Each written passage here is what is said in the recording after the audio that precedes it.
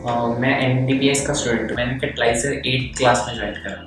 मैंने Catalyser eight से join करा था. फ़र्स्ट फॉर एन फिर मुझे ऐसा लगा कि नहीं मुझे आगे कंटिन्यू करना चाहिए तो फिर एट ऑनवर्ड्स एट क्लास से कैटलाइजर में हूँ. और यहाँ N T S C second phase के दौरान तो ज़्यादा टाइम स्पेंड नहीं कर पाया.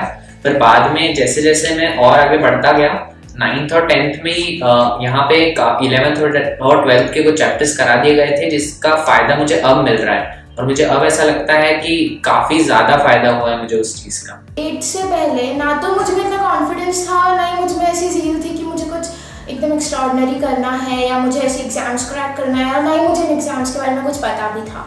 कॉन्फिडेंस लेवल भी इतना अच्छा नहीं था। एट से ज्वाइन करने से uh, सबसे अच्छी बात ये रही कि एन टी एस सी उसमें सर लोग हमें जो भी सिखाते थे उन्होंने हमारे सोचने का तरीका बिल्कुल बदल दिया।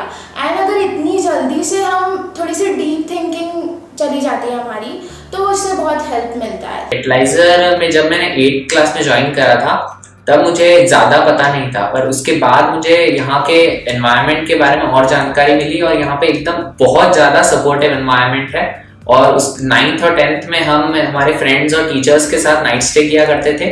जिसमें हम रात रात भर क्वेश्चन सॉल्व करते थे पढ़ते थे थोड़ा।